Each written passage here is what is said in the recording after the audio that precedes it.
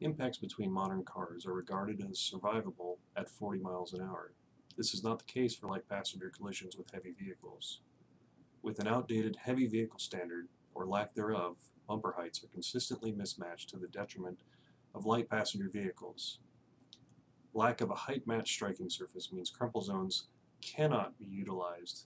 Airbags are never triggered. Low speed survivability becomes a question.